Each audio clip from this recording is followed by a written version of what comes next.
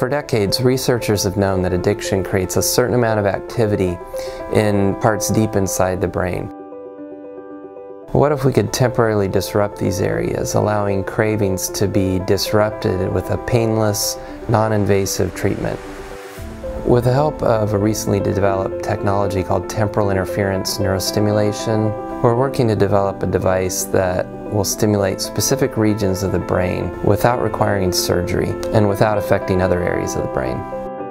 If this technology works the way we anticipate, this may allow us to suppress cravings in those with addictions with a small, inexpensive technology worn on the head.